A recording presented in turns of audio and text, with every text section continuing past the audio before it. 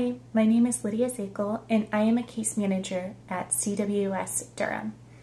Uh, in my position, I resettle refugees from around the world, but specifically from the Middle East and Latin America because they speak Arabic and Spanish.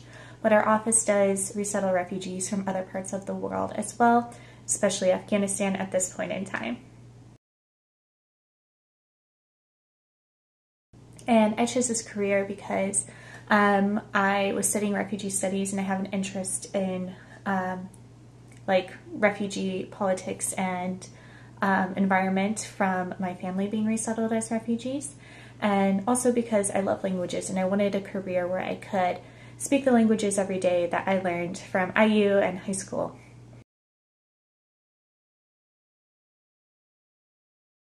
Yes, there is a very big international and global component to my career. Um, we are receiving cases every day from around the world, and through conversations, through home visits, through uh, meetings with people and clients that I have, I learn about their parts of the world, their culture, their languages. And so it's this continuous like learning environment as I teach them about uh, culture in the US. They teach me about their own culture too.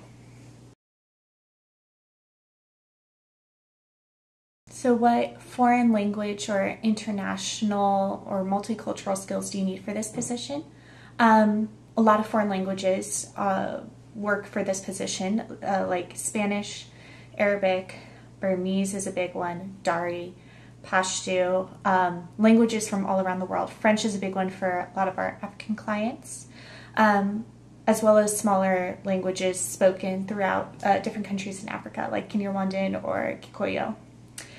Um, other skills that you might need uh, caseworker or case management skills, so knowing how to coordinate with different actors in the city to help the resettlement process for clients. Um, and that can be like applying for Medicaid, applying for food stamps, um, getting doctor's appointments for clients, and so forth.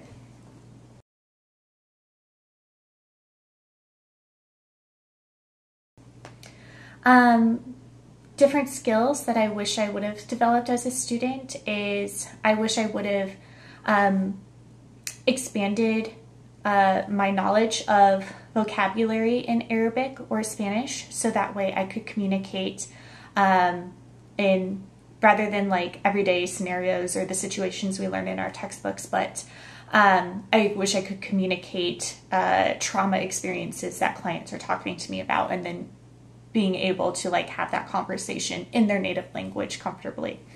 So vocabulary around that would have been very helpful for me um, during my studies at Indiana University.